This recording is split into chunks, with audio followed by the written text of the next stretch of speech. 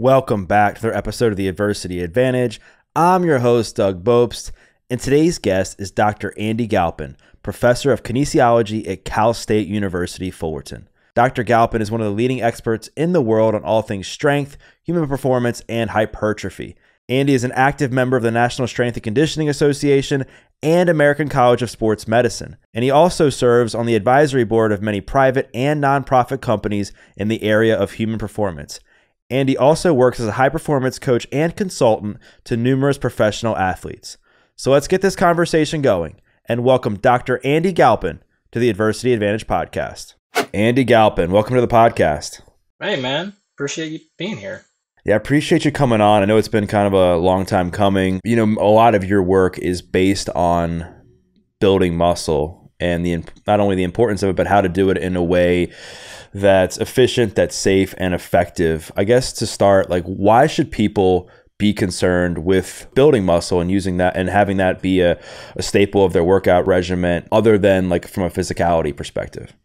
Well, it depends on what you're interested in. You know, I'm a human performance guy, so I don't deal with the general population much, and I certainly don't deal with anything past that spectrum of health down to the clinical side. So I pretty much work exclusively with professional athletes, and so from a sporting perspective, it's pretty clear why you need to be why you need to have sufficient muscle mass. Um, I think what kind of you're getting at is the other end of the spectrum, though, which is why does the average person or even ex-professional athlete need to care about growing muscle outside of simply wanting to look a, a certain way? there's a long list of things you can go about. Um, everything from most folks probably don't realize uh, skeletal muscle is the largest glucose dump in the entire body.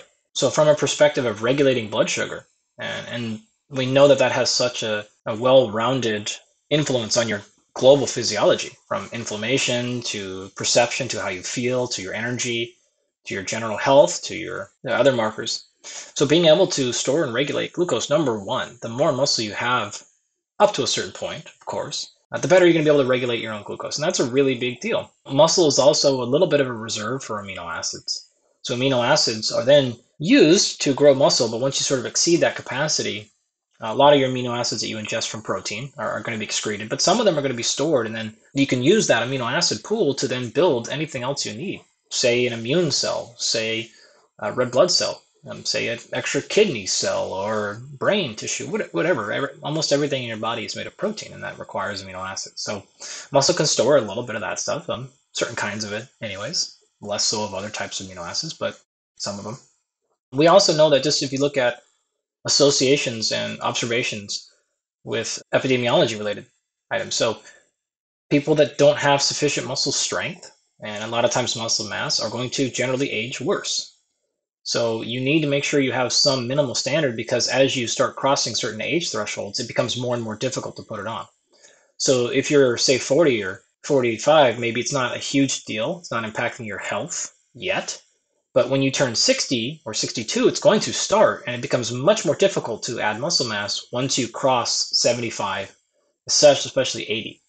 And with a lot of people now talking about living well past these standard years of 75 or 80 and you want to live to 90 100 110 120 like these these are conversations people are having right now from people that are in their 40s and 50s and the general point is or the argument is hey we've got it's going to be 50 or 60 years before i get there and the technology we're going to have is going to be you know so much more advanced 50 years from now i'll be able to make 120 reasonable argument but if you don't put on muscle mass now it's going to be exceptionally challenging to do it when you're 110.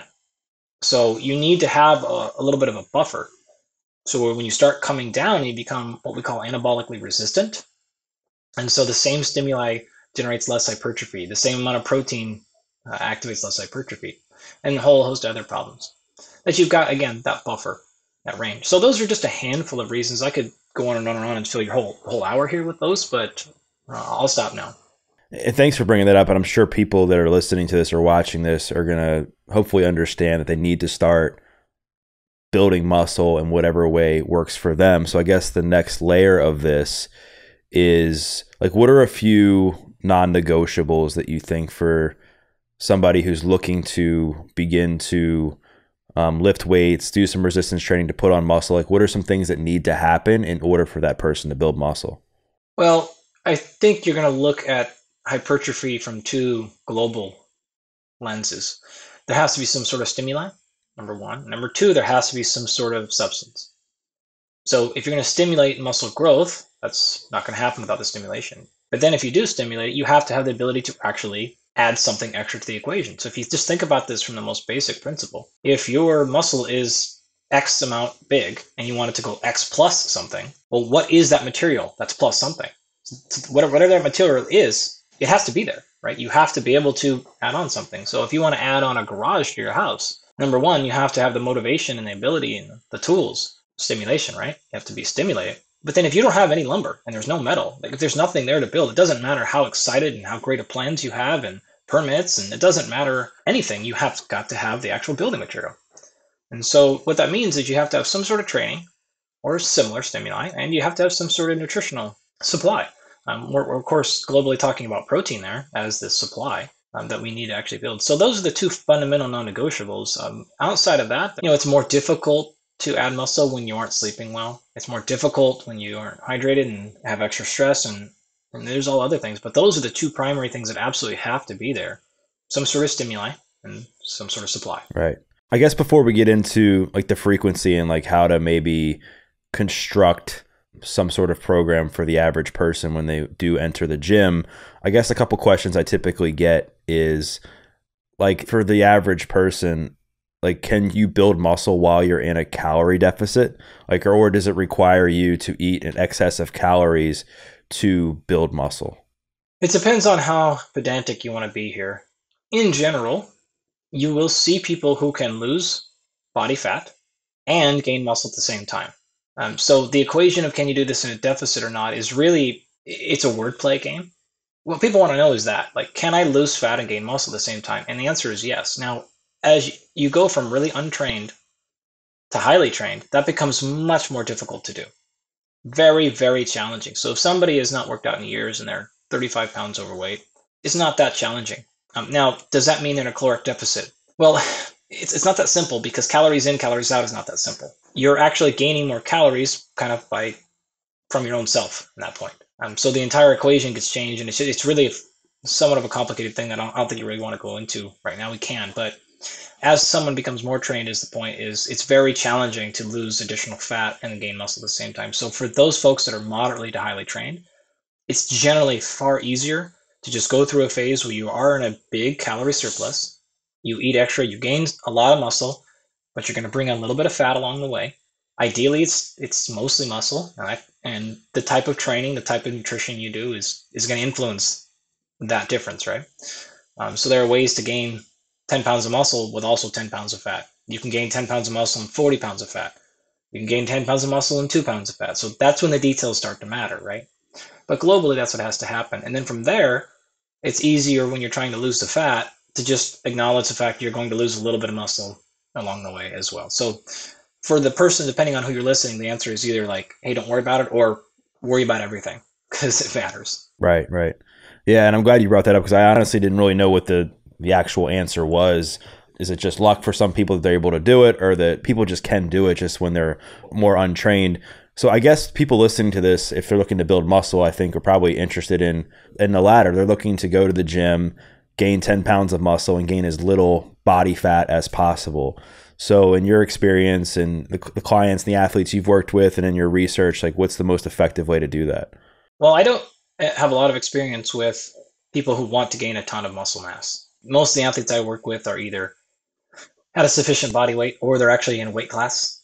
So we like we have to be very careful about going up. So you know you could talk to Layne or somebody else. Eric Helms would be a great person to ask about this stuff in terms of physique stuff. It's not really my game. Having said that, if you do look at Eric's stuff, he's done a really nice job, and I think he has a couple more studies coming out soon looking at how much of a caloric surplus do you really need to be in. So one of the common mistakes we see based on the available evidence so far is people just add way too many calories. And so let's say your baseline caloric intake is 2000 calories and that's just that keeps you at your body weight for whatever reason. Well, a lot of people try to gain muscle and then all of a sudden they go to like 4000 calories or 5000. Like they double or triple their calorie intake.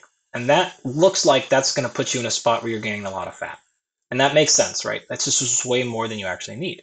So the number that's probably best, as as we understand the literature will show now, is something like a 10 to 15, maybe 20. Maybe you push the pace to 25% surplus. So instead of going from 2,000 to 4,000 calories, you go from 2,000 to 2,500. It's more food, right? But you don't need to go double. And another mistake folks make is they just go way crazy on poor food quality.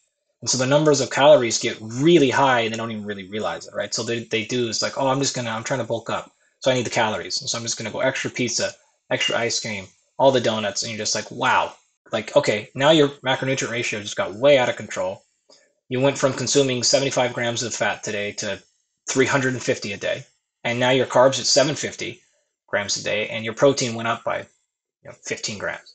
Like this is this is a recipe for probably putting on a lot of fat and you don't necessarily want to. So make sure your protein is high. Make sure it's at, at the kind of minimum requirements or a little bit higher. And if you want to go even higher than that, it's probably fine. Um, you can certainly go up in carbohydrates and certainly you can go up in fat, but you don't need to go bananas. Like you don't need to go in a position where you like can't look at food all day or especially if you're not really highly trained. Again, now once you get to that like pretty trained to highly, highly trained, it, it becomes more of a chore. Uh, but that's how you do it where you don't put on just crazy amounts of weight that you don't want. And that makes sense because it's like one of the first things that people will say when they start working out is, "I'm just working out so I can eat more." And then when the when the oh, you're going to lose that equation every time. right, exactly, right, right, like it's one of the things I bring up in my undergraduate class. Right, one of the first kind of quote unquote myths that we go after. And you, when you start to look at the numbers here, people think like the fitness marketing has done well. They've kind of got people convinced that every kind of workout burns a thousand calories right? You hear the promos, come to cardio kickboxing class, burn a thousand calories. Come to our Tae Bo class, burn a thousand. It's like, okay, well, hold on. Most of you are probably in like the 300 to 400 range. Some people could might, might burn a thousand calories in one of those classes. Some of those classes are really hard. A lot of them are really hard, no question. A thousand is a lot. A thousand is a lot of calories and probably not happening. let's give you the most charitable interpretation. Let's say that you you're burning 700 calories, uh, and you're doing that three days a week. Okay, great. That's 2,000 calories. We'll call it an extra, right? Like a couple of bad meal choices. If you just go, hey, like I'm perfect on Monday through Saturday, and I just I do whatever I want on Sunday. Okay, a little extra butter, a little extra syrup, a little. You've you've gone way past two thousand. Like you've just outkicked that with one day of not even going nuts. Just like I had extra pancakes, I put some sugar and cream in my coffee, I got the thing, and then we had ice cream. Well, boy, like you're done. It's over. Like you've gone way past it. So if you look at something even as simple as like a bagel, like you're at 350 calories oftentimes, right? And you're like, that's most people's workout. And then you put cream cheese on it yet, and you put the cream cheese on. Now you're 550 calories. You're just like, geez, like you just lose the equation so fast. And a 550 calorie workout is really, really hard. And that doesn't even count what else you had with the bagel and cream cheese. You know, like, so it's just really difficult. You're going to lose that equation every time. For sure. And you see that a lot with the marketing of these high intensity fitness classes and these group training classes that have now become popularized over the last few years and I guess that is a good place to go into my the next thing I want to talk to you about. Like, like are these classes, in your opinion, as effective as some people claim that they are? Meaning, some people think they're able to build all this muscle, gain all this endurance, burn all these calories according to their Apple Watch by going to some of these group fitness classes. Like, what do you think? Yeah, I think actually group fitness classes are pretty effective for a lot of reasons. Like you know you tend to work pretty hard. You know, nobody really leaves those things and it's like, eh, I don't really. Like you tend to be pretty smoked after them, uh, and they're motivating. They're they're interesting. It's uh, the group dynamic is very important. It's much more effective than training by yourself in almost every case. So I, I think in in general, it's a positive thing. Like, do they out sell probably the calorie? Probably, but like whatever. If that's what motivates you, I'd rather you go in and do the class than not. So I think on the average and the aggregate, they're doing more good than they are harm like no question, probably by a big a landslide. Um, last thing I'll add to it is when you consider kind of the cost, like, hey, like this is a lot of people can afford that. It's you know twenty bucks a class, or like whatever the thing is. Like they're not they're not thousands of dollars. They're not a four hundred and fifty dollar a month supplement plan that has you know a pyramid scheme behind it. That's like they're pretty straightforward. You're going to come in, you're going to work a lot. Maybe it's not well designed and it's just random, but fine but it, there's no sales loss there. Um, you're, you're getting what you're going to get, which is an hour of work. And uh, to me, that's like that's that's one of the more honest things we have in an industry is is re- you know what you're going to pay for, You know, it's gonna be music and it's gonna be lights and you're gonna burn. You're gonna sweat. For sure. I agree with you. Yeah. I think the intentions are good. What I found just from a, in a practical setting with my clients is I found that sometimes you get these people that used to be athletes like 20 years ago going into these classes and they got like tight hips, tight backs, and they think they can still do everything that the 20 year olds are doing. And they end up like pulling a hamstring or something. And I think it's up to the consumer to like honor your body and, and stay with what works for you. From a time perspective, like so many people are just short on time now. And they're having a hard time finding time to go into the gym. And when they do, oftentimes you'll see somebody just hop on a machine, do a few reps, hop on another machine, do a few reps, do some bicep curls, then hit the elliptical for 10, 15 minutes and then leave. But I know there's a much more efficient way to kind of do this. So if you could maybe describe like if you were training somebody that was just low on time and maybe had 30 40 minutes to come in and their goal was to build some strength and some muscle like what kind of things should they be doing time thing is going to be a factor, right? So anytime you're going to put a constraint like that on it, you're acknowledging effectiveness goes down the tube. In terms of ability, there's just less things you can do. Okay, fine. So how do you manage time? Well, one thing is to just immediately start reducing or eliminating rest intervals. Okay, just don't break. If you got 20 minutes, don't stop the whole 20 minutes. Well, fatigue is going to get really high. That's good. But because that, your ability to put load on the bar or machine is going to go down you're tired, you can't lift as much. Um, so you have to ask yourself, what's the real point? What am I really after? Do I truly want to get stronger? Or do I want to kind of get stronger? I want to build a little muscle. I want to get a good workout in. I want to like, that's what most people are after. So in that particular case, you know, I would probably just set someone up on a circuit, pick two to four exercises or something, and just run through those things. If you really truly have 20 minutes, I would just not stop. Um, like you, you've almost landed yourself in CrossFit, right? Okay, fine. Grab a kettlebell and you know do some kettlebell swings and do some bodyweight squats or goblet squats and and do some kettlebell rows and do some push-ups and you know do 10 of those do that in a circuit many times you can in 20 minutes. That's going to get you i mean crossfit showed that right? It's going to get you some strength you're going to add some muscle you're going to lose some weight you can be out there in 20 minutes if that's what you want. That's that's okay. I mean there's a lot of wrong things that are wrong about crossfit but they nailed that one. Like if you look back across the history of our field you see these giant swings in pendulum that goes back and forth and swings back and forth. And we go all the way back to Arnold, right? And he was the real he was the first real person who changed the culture and in the idea that strength training wasn't bad for your health. So if we have to remember prior to the 1970s, the vast majority of people, physicians and medical professionals, literally thought strength training was deleterious to your health. The scientists published papers on this. It's going to kill you early, heart attacks, like all these things, right? Arnold broke that. When he came out pumping iron, when he came out with, with Conan, it was like, holy shit, I can be a superhero. Like literally. And it totally changed. And then the research started coming out. The famous story of, of Dr. Karpovich um, at Springfield, he totally flipped. Like he was one of the biggest haters of strength trainings from a scientific perspective. Actually ran some studies and was like, holy shit, people are getting amazing results here. Flipped everything, which is how science is supposed to work, and totally changed his career, right? Change brought strength training into academics, really and then Arnold pushed it forward. And so we went through a couple of decades of bodybuilding being everything, right? So you had two types of scientists in the field. You had hypertrophy, bodybuilding, and then you had most of the exercise physiologists and nutritional scientists were all steady state endurance guys. They were cyclists, swimmers, and runners, and they were 60 minute plus folks.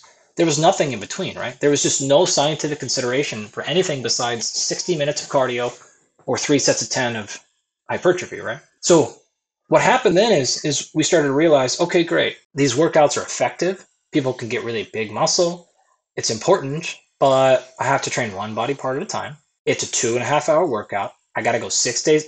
And we had this void where people were just like, there's no chance. There's absolutely no way, right? All, all by the way, like I don't, I'm not feeling very athletic because I'm doing these isolated movements. I'm getting my hips are getting tight or whatever. I'm, I'm getting injured because I'm oh, I have so much volume on individual joints. And that left a perfect opening for CrossFit. CrossFit came in and said, we'll do the opposite. You'll be out of here in 20 minutes. We're not doing machines. We're only doing functional stuff. It is big movements. It is high intensity. You'll be in and out, very minimal warm up, and you'll be gone. And everyone was like, "Oh my god, this is the this is the best thing ever, right?" Because it smashed the time thing. It smashed the higher quality movement. It smashed the machine stuff. It smashed isolation, and it got people a ton of fat loss results because intensity was high, the duration was short people got stronger and everyone's like, wait, great. And then people started to realize, well, wait a minute. If I only do squats and kipping pull ups and like sometimes I'm, now I'm actually completely forgetting to train those isolation muscles. And so people started getting hurt. Also, way too heavy, way too fast for the sake of endurance, not quality, right? Everything in bodybuilding is quality of the repetitions. That's all that matters. Everything in CrossFit was count, right? So they went the entire other end of the spectrum. And both sides have problems, is, is what I hope you see I'm trying to describe here, right? And so people were like, okay, it's great. It's too high intensity, too often. The movement quality's awful, like globally, right? And it's totally random. Everything in bodybuilding is specific and precise. Everything in CrossFit is totally random. And so then what happened about 10 years ago is the pendulum started to swing back more to the middle and said, wait a minute, what if we take these CrossFit principles and then we add back some isolation work? So I'll finish my WOD and then I'll go do some tricep extensions. I'll do some hamstring machines. I'll do some calf raises. Okay, great, but not too many. Okay, great. And then what if I like actually start having days where we don't go fully to time and we do more of like a, okay, great. And what you end up sliding back into is like what we've been generally doing in strength conditioning, which is like a moderate length 45 minute workout, a little bit of strength stuff, some isolation stuff to fix your personal limitations and and downsides, like a little bit of volume, a little bit of a pump, a little bit of heart rate stuff, but not too much, and some pure strength stuff, and get you out of here. And we're not gonna do it six days a week. We're not doing it two days a week. We'll do it three. And it's like we end up right back in the same spot that most of us said, which is like do these nice, well-rounded programs. And that's currently where we're at. The only thing to layer on top of that is the addition in the 90s of high intensity interval stuff. And that really is starting to get popular. And so now we have this blend where people can go, okay, this is how I do strength. Let me add that piece in. This is how I do isolation stuff. Let me add that piece. This is when I go steady state. Let me add that piece. Let me grab the high intensity. Now, let me put these things in combination with the individual client based on do they have 20 minutes or do they have 45 minutes? Do they have three days a week or do they have six days a week? Are they really banged up? Do they move well? Do they not? What are their limitations? And then you can just start applying the pieces for your individual clients based on all of those contexts. You tend to get better results. It's much more sustainable. People don't get hurt. Win, win, win, win, win. Yeah, for sure. And I do think that you're right. Like CrossFit has great principles, as does bodybuilding, but obviously there's flaws in both, like you just kind of described so I guess just going back into program design, like for the person, let's just say that isn't under a time constraint, and it's just like the average person who goes to the gym and just wants to get a good workout in, and they want to build some muscle. Like, do sets and reps really matter? I mean, I know from the from the science it does, but some people now you just see them just completely training until failure with every single movement they're doing. So if you could maybe articulate as best you can, like when somebody goes to the gym and they're looking to get like a good strength workout, like what kinds of things should they include, sets and reps, and that sort of thing. What's the outcome goal here, strength or hypertrophy? Because those are different answers. I would say for the average person just looking to build more muscle, so hypertrophy. Yeah, okay. So uh, you have a lot more flexibility with what you do for hypertrophy than you do for strength. There are some things that just have to happen for strength that you can't skip or avoid. Not the case for hypertrophy. Volume load is, is probably the thing to land on. And that, so that is take the number of repetitions, multiply that by the number of sets, and multiply that by the actual load you lifted. And when those become equated, it doesn't matter if you necessarily did five sets of five, which would be 25 reps at 50 pounds, so five times five times 50, or you did, say, uh, three sets of eight, which is 24 reps at a, a little bit of a lower, right? Or you did a little bit of a three sets of 10. So now you did actually five more repetitions, but you actually did it at a lower weight. And so the more, it ends up kind of washing all out, to be honest with you. So it doesn't matter a tremendous amount. What matters most about hypertrophy is that you can continue to provide stimulus and that you can progressively overload. So whether you want to increase the amount of repetitions you do and keep it at the same weight, fine. You want to keep the reps per set, you want to keep the weight the same, and you want to do one more set next week, cool. You want to do neither of those things and you want to add a few pounds, great. You want to add some pounds, take some sets away, and add some rep. You can kind of mess with these things in any order that you want. That doesn't mean just be random. There's a difference we, we call there's a difference in randomization, randomization and variation. Variation is very important for hypertrophy, especially. That does not mean random. So be intentional, have a plan, be judicious with how you're going about. If you don't do that, you almost never really truly hit progressive overload, and that's why people don't see results. So have a plan it doesn't even matter for most people what that plan is, but have something that you're following for a four to eight week window. Probably for most people, six weeks. Four is maybe even a little short. Six to eight is probably the better number. So you can go at those things. You want to work hard. Hypertrophy is not going to come easy, but you do not have to absolutely martyr yourself. You don't have to take three scoops of pre workout to the dome, get after it, scream, throw up afterwards. If you get highly trained, like you have to work harder. But for most people, you also can't leave the gym on a leg day for hypertrophy, being like, yeah, yeah, like I think I broke a sweat. like, oh, yeah, my legs are kind of tight. That's not going to be enough. So it's somewhere between three shots to the dome and thrown up, probably closer to that end of the spectrum than, yeah, and I'm like, oh, yeah, that last set, those last couple reps, I got a little burn there. Like, that's not going to be enough at all. Um, for the very beginners, it will be. But for these, like, moderate people, um, so another kind of an easy way to think about that is a lot of folks will talk about reps in reserve. So this is imagine you're in the middle of a rep and you stopped, how or middle of a set. How many reps did you have left in the tank? Now you don't necessarily need to empty it every single time. Maybe stop with one left, maybe two. Mm, three is pushing it. Four, it's not hard. You should have gone heavier. Should have done more reps. So a lot of people will land on that somewhere between one to two reps in reserve. Um, the more trained you are, the closer to that edge you can get. The less trained, maybe stay further away. And then monitor your soreness. Like if you're getting just brutally sore afterwards, you're probably doing a touch too much. If you're not getting sore at all, you probably should push the pace a little bit more. Um, you want you want a little, want a little tight, like, ooh, yeah, God, pecs are kind of sore today. Next day, yeah, God, a little tender. That that's a probably uh, soreness is a terrible proxy for workout quality. But in this particular case for hypertrophy, I'm just trying to help folks understand a little bit about what I should do. And instead of just giving you numbers, it's easier to actually just back, back calculate results, right? Like if I'm if you're not feeling it in your workout, if you're not getting sore and it's not growing, then you got to do something different with that muscle group. Probably a different exercise selection, right? You're probably not using that muscle very much in the exercise you're choosing, but it also could be your scheme, right? So if you want to do two sets of 25, great. Like you better feel a burn at the end though, right?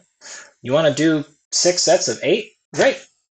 All these things work pretty much equally effectively at least in the first two to three months, it's you're going to see equal results in terms of hypertrophy.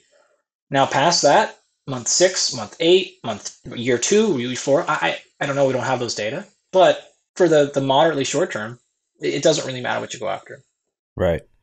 Yeah, I heard you talk about how I guess like a kind of like a misconception in the fitness community is is that soreness is like the ultimate like measure of how effective your workout is. And like really you, you said and I, i've learned to obviously i've learned this myself i guess in just in, in years of doing this that it's not really the case and that just because you're super sore doesn't mean it was a good workout. No not at all. I mean look hypertrophy is only one outcome and even that is not tied closely to soreness. So if you look at the studies that have been published in these areas you're going to find basically no statistically significant relevance between amount of soreness and amount of growth so some people get really sore and don't grow much some people get don't get sore that much at all and grow a lot. So they're just not a good way to determine it, um, especially if you're looking for other outcomes. And like you were talking about the being at Gabby's house and doing an XPT workout in the pool, and you're just you're out there for hours and you're just completely gassed and exhausted, and you're assuming you're just going to wake up the next day completely train wrecked. And it wasn't sore at all. There you go. So you can get really. We, we use the obviously I've been a part of XPT since before day one. I've used been using pool workouts like that with athletes and people for years now, and it's one of the things I love to go to, especially for fighters in camp, because you just you just don't get very sore. You can train really really hard. Soreness is dependent upon a lot of things. So some exercise choices that are even harder just don't result in soreness. Things that are mostly concentric based, like pushing a sled, like an air assault bike, like being in a pool. You don't have a lot of impact. There's not a lot of eccentric bracing, so you don't cause as much muscle damage, even though you're exerting the same amount of force and effort or more. And so there's lots of ways you can go about it. Um, that doesn't mean eccentric is bad. You should not avoid it. It's good. You need it in your life. But you know, details matter here. There's a reason this is a giant scientific field. And just because you took a work weekend certification, you're highly qualified to do this. You're not. There's a lot of details. I, uh, I teach an entire semester course at the graduate level on program design. And when we finish that semester, people are just like, I feel like I don't know anything. And I'm like, good, good. Like, this is how complicated this stuff can be. It, it, will take you a decade of studying this stuff to really get to an expertise level. I don't even, like, there's a ton about programs, tons about program design. I don't know. I learn all the time from people. So it's a very complicated field. You can do some basic stuff though very easily. Like the stuff we've been talking about, we're going to get you a little bit of the way there. But you know, for the folks that are you know trainers listening, there's a lot here. There's a lot to learn. So, you know, like don't don't just assume like, oh yeah, you did the thing and you've been training for three years, you got it all. No way, no way. Like first professional athlete I ever coached was in 2005. I've been in this for a, a long time with professional, and I'm still like, oh my god, I didn't know anything about this, or wow, this, or oh, I'm learning a ton. So it takes a long time to really get proficient in some of this stuff. Yeah, Amen to that. I mean, it's funny. I was just having this conversation with a buddy of mine who's been in the field for a long time, and that I dove into the NSCA journal to read up on like training seniors because I I just started training somebody that is I've trained older people before, but I just haven't in a couple years, and I wanted to make sure that I still knew my stuff, and maybe there's been new research that's come out on effective ways to train somebody in that demographic. And I was telling them how humble I was like, man, this is humbling to think you have learned so much and you've been in the field for a while, and then you're going back into the journal to like read up on certain things. You talked about like gauging how effective your workout is based on perceived exertion if you're sweating you know that you know that you you sweat you're sweating good and you're kind of in a way just feeling taxed you know that you you got a good workout and then on the on the flip side if you're just questioning whether you did you know you probably need to push it a little bit more as far as like volume and designing like as far as like the design of the actual program i mean some people will say i'll do total body three days a week. You have some people say I'll do push pull legs. Other people will say I'll do upper body, lower body. Like if you found that one for like the average person is is the most effective, or does it all come down to individuality? I would actually say that my personal experience lines up very well with the research in that it's fairly clear none of those are more effective than the other. Which uh, on its face sounds like really annoying. You're like, there he goes again, not answering the question. I actually think it's the opposite. I think like it means like you you actually have the ability to do any one that fits your client that fits your personality. I traditionally, typically hedge more towards whole body as often as possible for me personally, not for my athletes per se, though that does seem to be intend to be the case for my athletes. But for the general population, here's why: splitting like upper body, lower body, or different body parts is great. But what happens when you miss a workout? Really hard, right? So you're like, I did, I did chest today, and I do chest every Monday. Great. Well, what happens when next Monday's workout comes and you got a, your meeting runs late and traffic's bad, or you just you're exhausted, you get a cold. Well, now all of a sudden you you will go two weeks before using your chest, and and that's a very real situation. Most people just like you don't you're gonna miss one workout a month minimum, right? Like that's a realistic situation. So I don't like that because you end up going big chunks of time, and then, man, God forbid, the next Monday you're traveling. Ah, or you you just, you end up just like now all of a sudden you went three weeks without using that body part, and it, it just it gets very hard. And so I like to be like, look, let's hedge our risk a little bit. We're gonna do some stuff. You know, like we're gonna use your legs three days a week. That's just what it be. So you use one of those, fine. We'll add in some more sets next next workout because we're gonna do the legs or whatever the case is. And again, if you look at the research, effectiveness is the same. As long as you reach the same total volume between the two workouts, it's equally effective. So I tend to like multi-joint movements and I tend to like full body more often for the general population. If those considerations are not, if you're like hey, one of those people are like, I miss a workout like once every three months. It's very, very rare. My schedule's stable. This probably means you don't have children. This also probably means you don't have like you're not running multiple things. You don't travel a lot. But that's a lot of people. That's fine too. And then hey, if you want to do body part splits, I got no beef with that. If you want to do push pull or upper, I got no beef with any of those things. Do you want to work out six days a week? Then you're probably better. You'll do well doing body part splits. If you want to try to get it to four, then maybe you could do a push pull, something like that. It just sort of depends. Um, do you recover really well? Do you not? Do you recover really well? Maybe you do the same body part multiple times. If it takes you a long ass time to recover, maybe you shorten it down a little bit. So all those things are give you the freedom to know you're doing a really effective program and it's going to work if you put the work in and you stay consistent but you get to do it in the way that best fits your situation. Right, right. I like how honest you are, you know, because it'd be easy for you to, to say that like one of these programs is more effective based on what you do, you know, but I, I love that you're like, you know, like doesn't really matter as long as like you're doing the things that we've already kind of talked about. You're working yourself to a certain level, you're training the right types of movements, you're getting in enough workouts, and so on and so forth. So when it comes to like the right type of movements, I guess if you're say if you're training total body, for instance, do you recommend then people doing like a horizontal push, horizontal pull, like a lower body push, lower body pull, and stuff like that? Yeah, you can split it up however you want, right? You know, it depends on your style. So if you look at the global movement patterns, upper body wise, you've got push and pull, right? Now, what this also means is you've got a couple of different planes. Some people call it two planes, some people call it three planes. So let's say with the pushes, you've got horizontal push, think bench press or push up.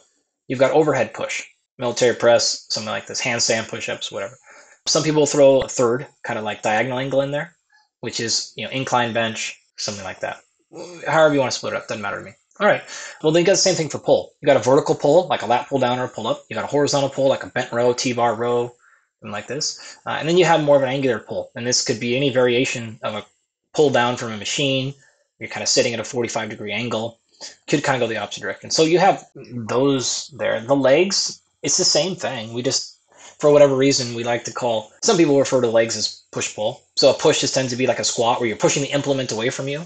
And a pull tends to be when you're pulling the implement towards you. So a push is like a squat or a step up or something like that. Um, a lunge, split squat, rear foot elevated split squat, any of those things. Uh, a pull tends to be more things like an RDL, uh, deadlift, stiff legged deadlift, hamstring curl, Nordic curls, all those things tend to be pulls. So if you want to split them up that's way, it's fine. It's more challenging with the lower body because when you're doing a squat per se, you're using quads, hamstrings, adductors, and glutes. When you're doing a deadlift, you're using the same muscle groups.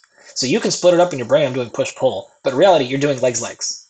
Like that's just how it works. When you're pressing with your upper body, just because of the way that the muscles cross multiple joints, you're not using your lats really much at all to do any push up. You can't do a lower body exercise for the most part unless you do isolation stuff without using the anterior and posterior side. Like it just it just doesn't happen. So I don't get too caught up in those things because I'm like, oh, it's a pull day. So you think you're not using your quads at all when you're deadlifting? Like, of course you are. so it's like you you just did legs legs. You just did quad quads. Like you just did a whole bunch of them on one day and like a little bit less on the next day. So you you can split it up that way. Then you have the entire core um, so you have rotation, you have anti-rotation, you have flexion, anti-flexion, extension, anti-extension, etc. But then, like, there's a whole host of other movement groups. Like, what about trans rotational stuff? What about multiple movements? What about sprinting? What about jumping? What about a snatch? What about landmine press? Like, you have all these ones where you don't have like a category. So it, de- it totally depends on the trainer or the coach and how they want to split these movement patterns up. And then what do, what do you do with again movements like a clean that are a pull clearly. It's a squat, and then it's an overhead press. Like, especially uh, if you're going to jerk it, at least, right? Call it whatever you want. I don't really care because it, that doesn't really matter. It's what matters is that you have the appropriate amount of stimuli on the muscle groups that you're intending to, and you know you could argue what those numbers should be, but that's what matters. So I, I don't get too caught up in pressing. Um, for those instances, it, it it is typically easier to kind of do upper versus lower split, and it's just do I, lo- I do lower body Mondays and I do all things lower body and I do upper body Tuesdays. Like actually, right now, this is what my training looks like, just happenstance.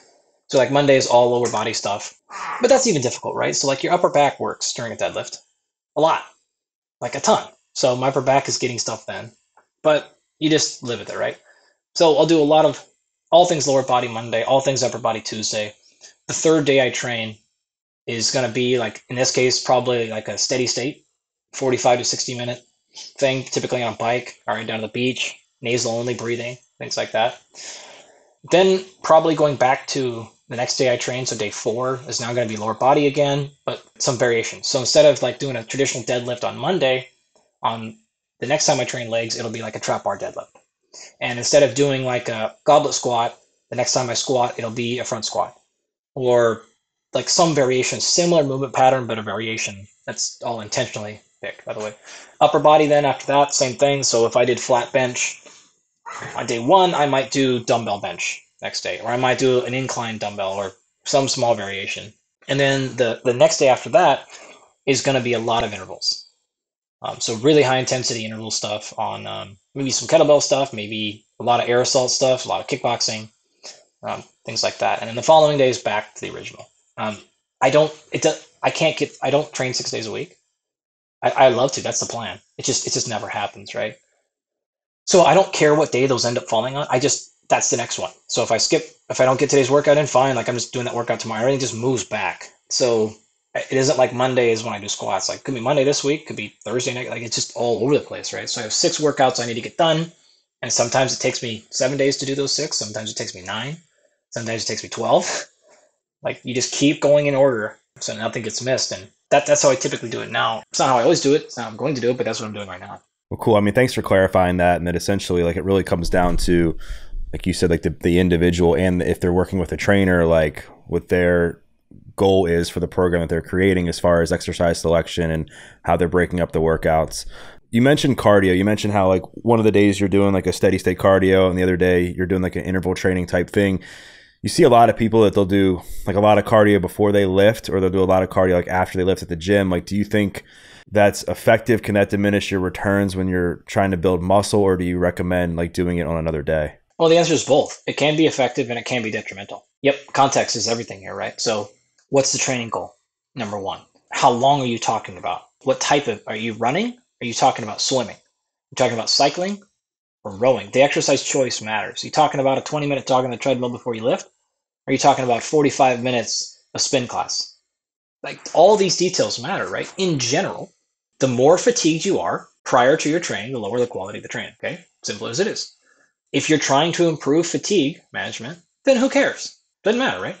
If you're there to burn calories, you want to lose fat, you're in there for general health. It doesn't matter what order you burn your calories in. Irrelevant. Just you're just in there getting work done.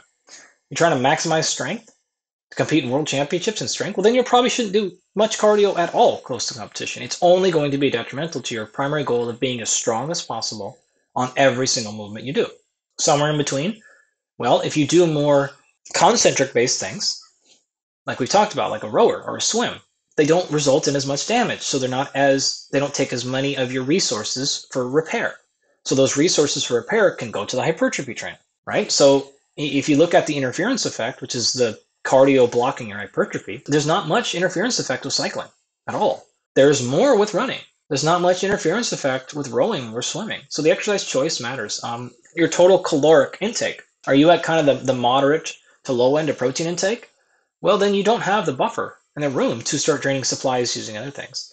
Are you at a caloric hold or trying to be hypocaloric? You're not going to grow muscle then if you're then also burning calories somewhere else.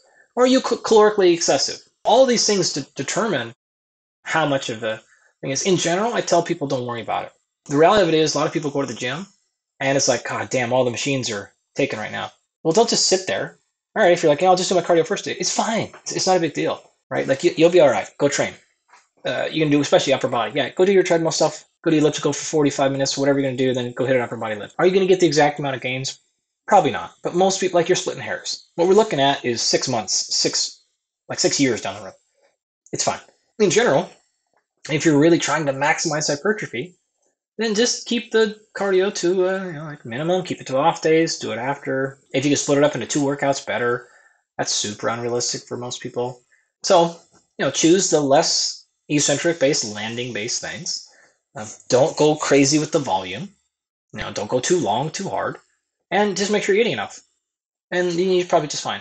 Yeah, I love how you kind of keep it super simple because I've even heard you say, like, and one of the things that I learned from listening to you, I think it was on Huberman's podcast, where you talked about like how supersetting can be like beneficial for in many cases and that I was always I guess under the impression that if you're keeping your heart rate elevated like too high it might diminish some of your strength gains but like I, I remember you putting it in a, in a way that was like well what you might diminish in your strength gains you're also gaining cat cardiovascularly and you're helping to lower your blood pressure and all these things. So I just I just love how you put all this stuff in like the context that's not only easy for people to understand but people to to pick and choose like based on their goals.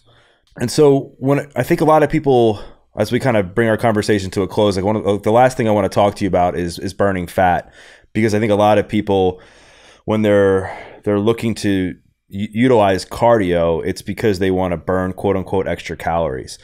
So when it comes to fat loss, I guess from the same context from from muscle, like what needs to happen, and then on top of that, can you burn pure body fat without being in a caloric deficit? In your opinion?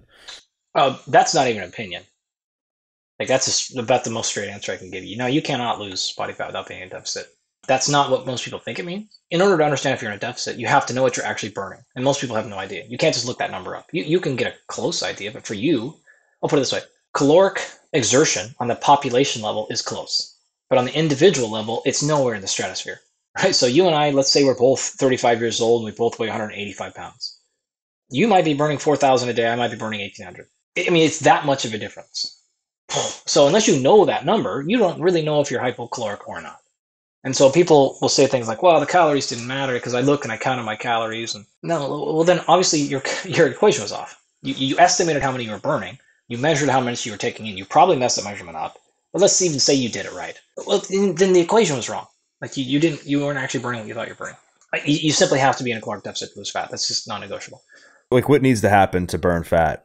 So that's it, right? You just have to be in a caloric deficit that's as complicated as it gets. It's a similar conversation a little bit like we talked about earlier, which is like, can I gain muscle and gain the minimum amount of fat? Yeah. If you want to lose fat, just don't eat. Just watch Survivor, right? You ever watch that old show Survivor? They all lose 20 pounds. I promise you, they're not like like they're not taking any special thing. They're not doing they're not doing a crazy diet. Like they're just not eating food, and all they eat is like a little bit of rice here and there. And guess what? Happened? Oh my god, they they lose it. Now, do they lose some muscle? Yeah, because they're not eating protein either. So there are better and worse ways to lose fat. If you just stop eating, you're going to lose a lot of fat, but you're going to lose some muscle too.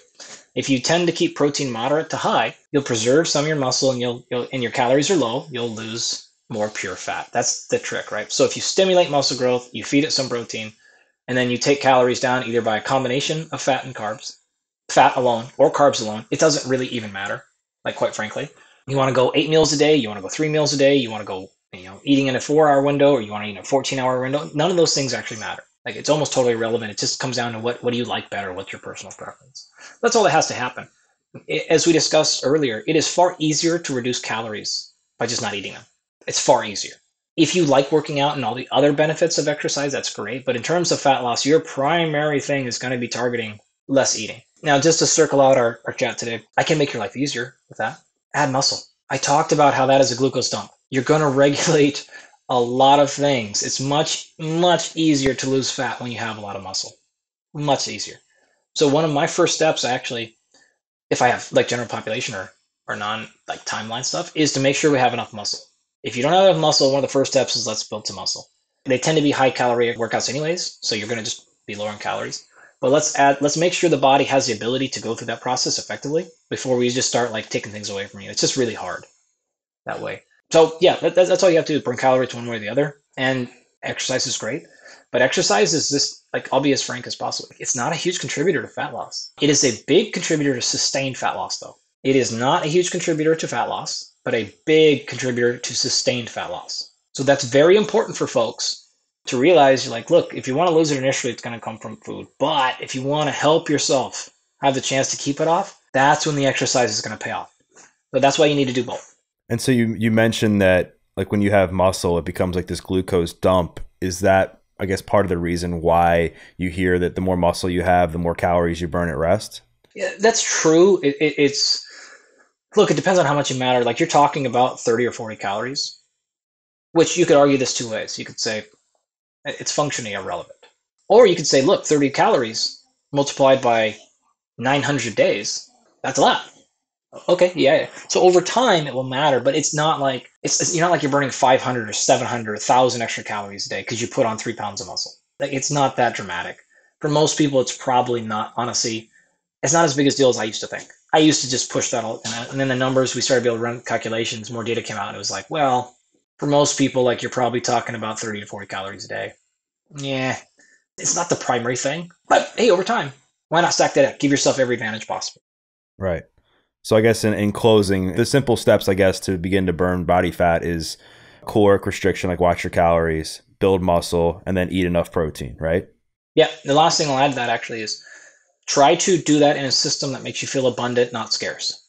Okay, but that's you need that adherence is the number one predictor of fat loss, no question. Adherence, right? Not the plan, just the fact that you're sticking to something, some plan. So that being said, you want to do it in a way again that you're feeling what we call abundant. So you're not feeling like you're just like, oh, man, I only get to eat eggs and egg whites in the morning, and I get to have carrot sticks at lunch, like, and I got to work out six days a week. Like, you're not going to stay on that train very long, right? So you want to feel like you're eating full meals and you're eating mostly with the foods you want. This is Jenny Craig. Eat all the foods you want, eat everything. We're just going to give you tiny portions. Okay, that works. Intermittent fasting. Eat whatever you want. We're just going to make sure your food only comes in a small amount of hours. Like there's, there's all kinds of strategies that uh, help you maintain like where you don't feel like you're just restricted all the time. So find the one that you like the most. But th- there's just going to have to be some level of restriction. You just want you just don't want it to feel like you're this is my pushback against like a lot of the 30 day challenges. Part of me is like, I like that. Like, okay, good. Like, I think you should be able to do hard things for 30 days. That's good. The vast majority of people though is just right afterwards, right? Like, so you you, want to be in sustained, not like this is my 30 day thing, but like, this is this is this thing I can handle. And like sometimes I just gotta say no at the banquet, and sometimes no, no, no pizza tonight. I like I had a hard week, I know, but like you gotta say no to something. No, let's just stick with our uh, our steak and Brussels sprouts and and rice tonight. Like, okay, all right. So at some point you have to make those choices. Um, you just want to be, you don't want it to feel like it's not that bad. Last thing I'll add, this is habit changing, right? So once you do that, you'll find out those those choices are actually easier and easier to make. The analogy I'll give you is if you've ever had to work on Saturdays, say you work Monday through Friday, and all of a sudden you had to go through four or five weeks where you had to work on Saturdays. Looking at that from the backside, you're just like, oh my god, I have to work the whole day Saturday. In the first couple of times, it's terrible. Then actually, after like you just get used to it, it's like I don't even think anything about working Saturdays. I've done it for years. I don't even. It's like this is what I do. It's not even weird. Like when I don't work, I'm just like, whoa, what happened? So once those habits habits are established, it's not like the willpower to do to do them. It goes way down. It's really not that hard. So it's what I call inertia. So just get over that initial inertia, and uh, it actually won't be that hard at all. Absolutely, man. I mean, I guess they always say the best workout plan that you'll do is the one that you'll adhere to, right? The one that you'll stick to because consistency is king. Consistency over intensity any day of the week. Consistency over intensity any day of the week. Yeah. True that, man. Well, Andy, this has been awesome. Thank you again for your time and for coming on. I know you're a busy guy and got a lot going on. I think people are going to see a lot of value out of your wisdom and knowledge on everything we talked about. So if people want to connect with you, they want to learn more about you, they want to buy your book, like where can they do that? Yeah, I mean Instagram is is of course the probably easiest place to follow along and, and Twitter. Um, Twitter is easier for me to like direct link to studies. I don't go change my bio, link in my bio every damn time I post about it. It's just a pain in the ass. So those are the easiest places that I'm most active. then like if you like education stuff, YouTube. So I got a ton of basically all my courses, my university courses on nutrition and strength, exercise science, and program design up on YouTube. Those are the biggest things for sure. Awesome. Well, I'll make sure to link all that stuff in the show notes. And for those listening, what I invite you to do is to share a takeaway. Um, maybe it was something that Andy said about program design. Maybe it was something he said about muscle growth and the importance of it. Maybe it was something he just recently shared about how to lose fat. Like whatever it was, tag Andy and tag myself because we'd love to hear your feedback. And we once again thank you for listening to this episode of the Adversity Advantage. I'm your host, Doug Bopst, and we'll see you next time.